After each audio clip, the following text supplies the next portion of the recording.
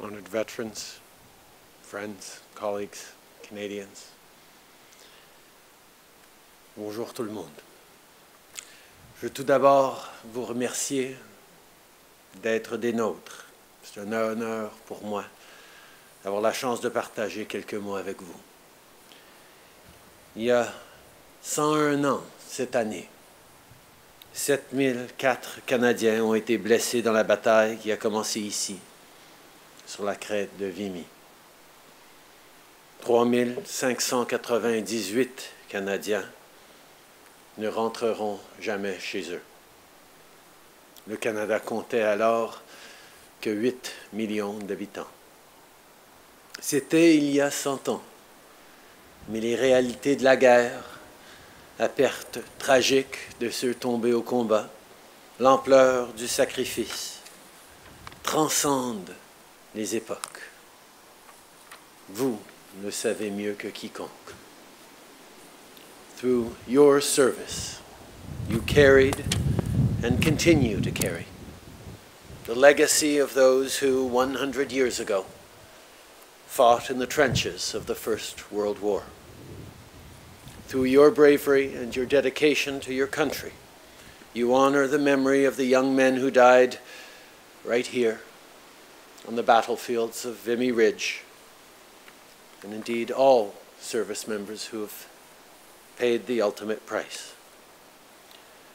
Today, Canadians remember who you are, what you stand for, and the history you defined. A history for which you bled and fought, a history built on your sacrifice. Thank you. You stand for the values upon which Canada was built, values like democracy, equality, justice, and liberty.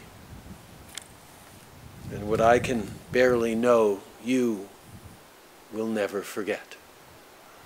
Many of you have watched your friends, your brothers and sisters, die in your arms.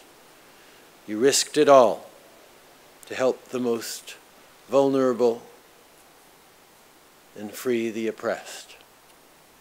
You chose to live your life in service of others, driven by a profound sense of duty.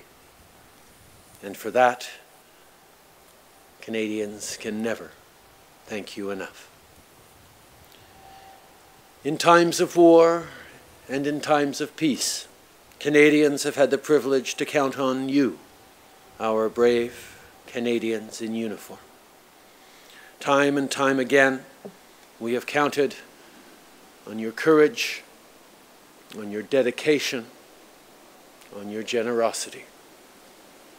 We all owe you a tremendous debt of gratitude.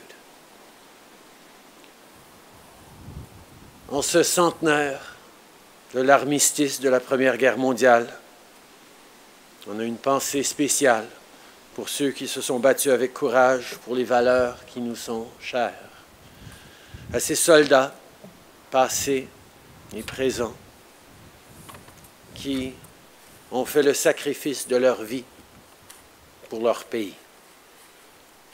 Je pense aux Canadiens qui, à tous les jours, rendent hommage à la mémoire des membres des Forces armées canadiennes en choisissant de servir à leur tour le Canada. Je pense à leurs enfants, à leurs êtres chers, à leurs familles et à leurs amis qui, eux aussi, sont appelés à faire des sacrifices considérables. Je pense à vous et à vos familles. Vous faites notre fierté. Au nom de tous les Canadiens, merci pour tout ce que vous avez fait et continuez de faire pour notre pays.